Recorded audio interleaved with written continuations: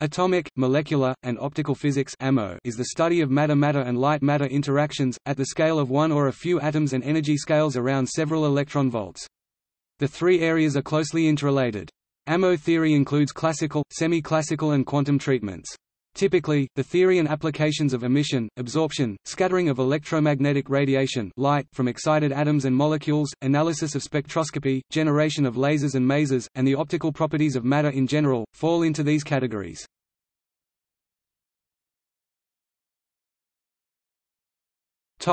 Atomic and molecular physics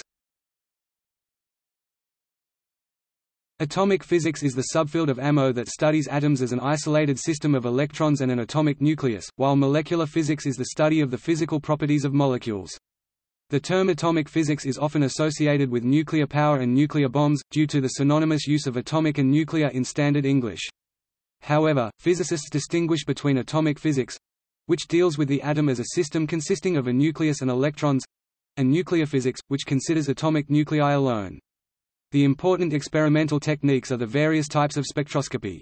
Molecular physics, while closely related to atomic physics, also overlaps greatly with theoretical chemistry. Physical chemistry and chemical physics, both subfields are primarily concerned with electronic structure and the dynamical processes by which these arrangements change.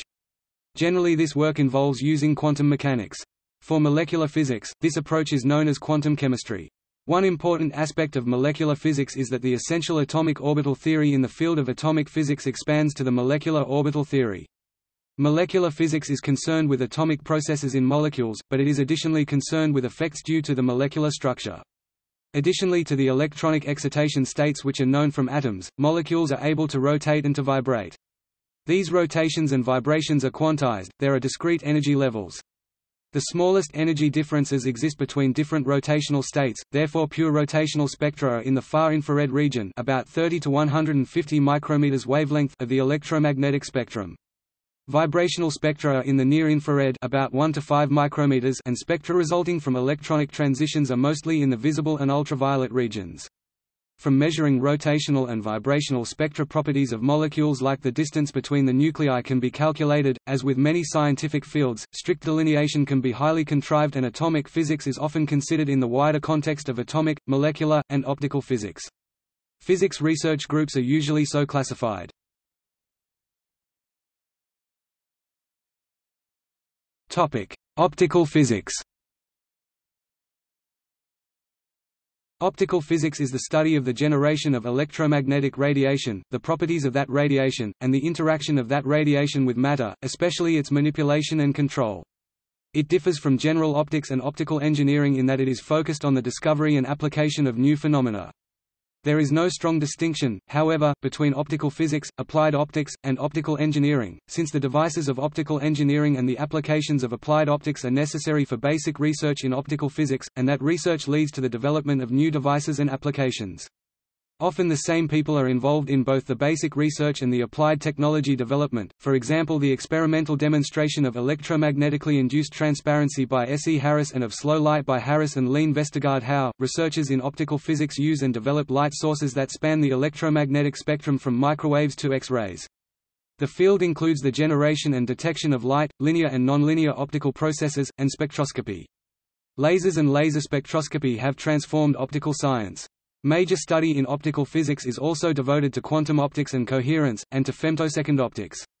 In optical physics, support is also provided in areas such as the nonlinear response of isolated atoms to intense, ultra-short electromagnetic fields, the atom cavity interaction at high fields, and quantum properties of the electromagnetic field. Other important areas of research include the development of novel optical techniques for nano-optical measurements, diffractive optics, low-coherence interferometry, optical coherence tomography, and near-field microscopy. Research in optical physics places an emphasis on ultrafast optical science and technology. The applications of optical physics create advancements in communications, medicine, manufacturing, and even entertainment.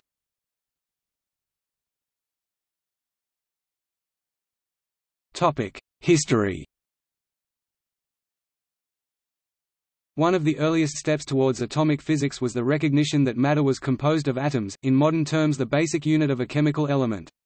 This theory was developed by John Dalton in the 18th century.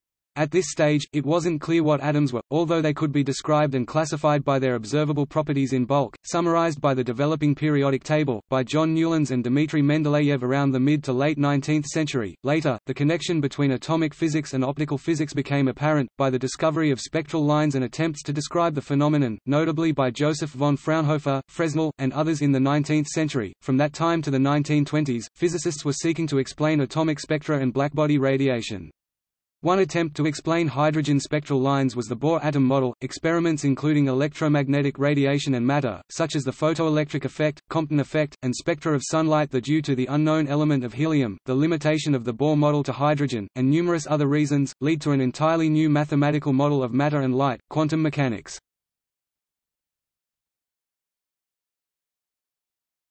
Topic: Classical oscillator model of matter. Early models to explain the origin of the index of refraction treated an electron in an atomic system classically according to the model of Paul Drude and Hendrik Lorentz. The theory was developed to attempt to provide an origin for the wavelength-dependent refractive index n of a material. In this model, incident electromagnetic waves forced an electron bound to an atom to oscillate.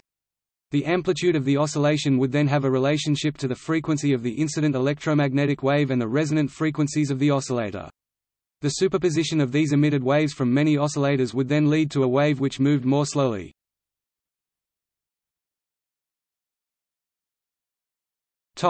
Early quantum model of matter and light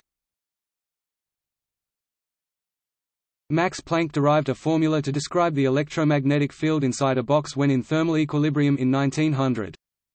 His model consisted of a superposition of standing waves.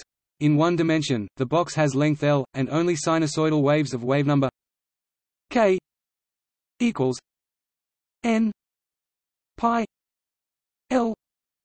Display style k equals frac n pi L can occur in the box where n is a positive integer mathematically denoted by n element of n 1 display style script style n in math bound n underscore 1 the equation describing these standing waves is given by E equals E zero sin N pi L x Display style e equals e underscore zero sin left frac n pi l x right, where e zero is the magnitude of the electric field amplitude, and e is the magnitude of the electric field at position x.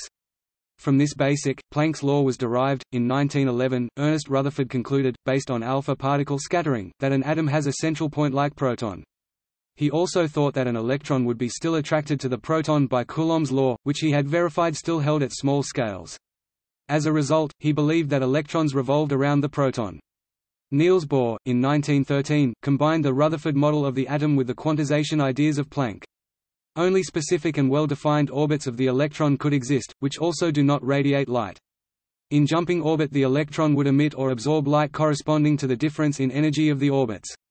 His prediction of the energy levels was then consistent with observation. These results, based on a discrete set of specific standing waves, were inconsistent with the continuous classical oscillator model. Work by Albert Einstein in 1905 on the photoelectric effect led to the association of a light wave of frequency nu display style nu with a photon of energy. H. Nu display style h nu in 1917 Einstein created an extension to Bohr's model by the introduction of the three processes of stimulated emission, spontaneous emission and absorption electromagnetic radiation.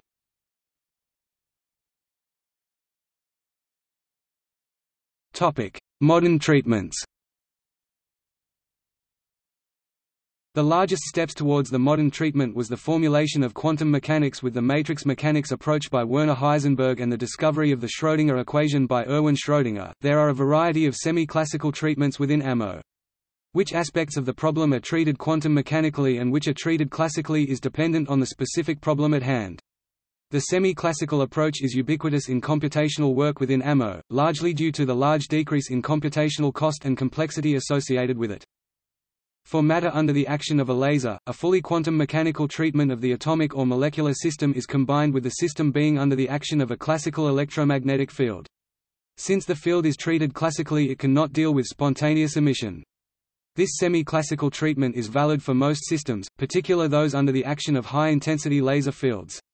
The distinction between optical physics and quantum optics is the use of semi-classical and fully quantum treatments respectively. Within collision dynamics and using the semi-classical treatment, the internal degrees of freedom may be treated quantum mechanically, whilst the relative motion of the quantum systems under consideration are treated classically.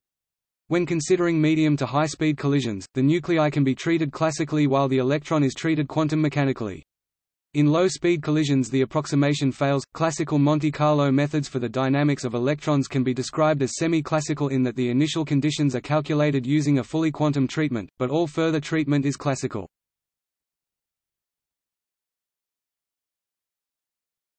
Topic: Isolated atoms and molecules. Atomic, molecular and optical physics frequently considers atoms and molecules in isolation. Atomic models will consist of a single nucleus that may be surrounded by one or more bound electrons, whilst molecular models are typically concerned with molecular hydrogen and its molecular hydrogen ion. It is concerned with processes such as ionization, above-threshold ionization and excitation by photons or collisions with atomic particles. While modeling atoms in isolation may not seem realistic, if one considers molecules in a gas or plasma then the time scales for molecule-molecule interactions are huge in comparison to the atomic and molecular processes that we are concerned with. This means that the individual molecules can be treated as if each were in isolation for the vast majority of the time.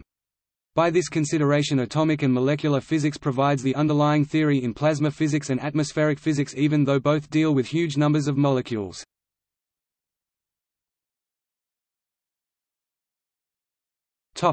Electronic configuration. Electrons form notional shells around the nucleus.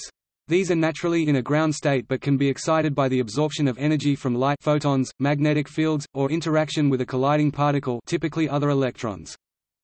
Electrons that populate a shell are said to be in a bound state. The energy necessary to remove an electron from its shell taking it to infinity is called the binding energy. Any quantity of energy absorbed by the electron in excess of this amount is converted to kinetic energy according to the conservation of energy. The atom is said to have undergone the process of ionization. In the event that the electron absorbs a quantity of energy less than the binding energy, it may transition to an excited state or to a virtual state. After a statistically sufficient quantity of time, an electron in an excited state will undergo a transition to a lower state via spontaneous emission. The change in energy between the two energy levels must be accounted for conservation of energy. In a neutral atom, the system will emit a photon of the difference in energy. However, if the lower state is in an inner shell, a phenomenon known as the Auger effect may take place where the energy is transferred to another bound electrons causing it to go into the continuum. This allows one to multiply ionize an atom with a single photon. There are strict selection rules as to the electronic configurations that can be reached by excitation by light, However there are no such rules for excitation by collision processes.